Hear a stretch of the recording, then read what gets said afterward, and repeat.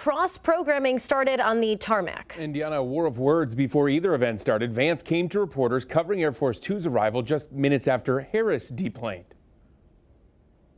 Every single position she has has changed.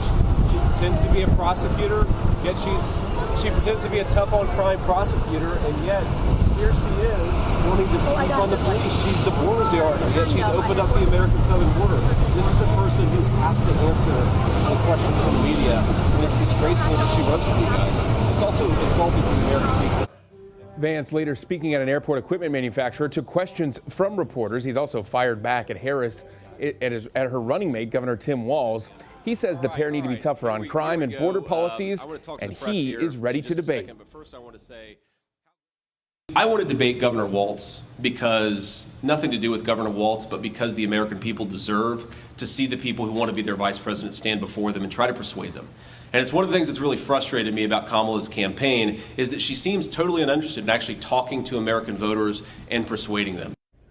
James, Vance is coming to the same cities as Harris and Walz. The counter programming not just in Wisconsin, Indiana, both were in Pennsylvania yesterday, Eau Claire today, Harris and Walz later traveling to Detroit. That's where Vance was this morning. All right, James Stratton reporting.